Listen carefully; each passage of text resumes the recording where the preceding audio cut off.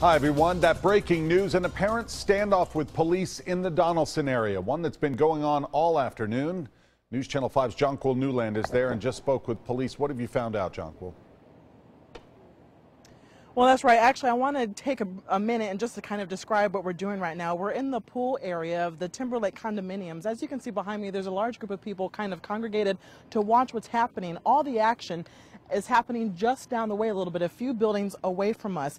Now, apparently, according to police, this started around yesterday evening when uh, they got a call to come and visit this woman who was on top of the roof of the actual building. Now, her mother arrived at the time and was able to talk her down. Police left. However, again this morning, apparently she tried to force her way into a neighbor's apartment. That's when police were called again. And since then, they have been going back and forth with this woman inside the apartment. She was throwing objects out of the window. Witnesses said they saw her throwing uh, pieces of glass from a mirror as well as bricks from her apartment window. She was also back on the roof. Now, currently, uh, you saw just a little while ago, there is a SWAT vehicle that has pulled up a mobile catwalk, for lack of better words, to her balcony at this point.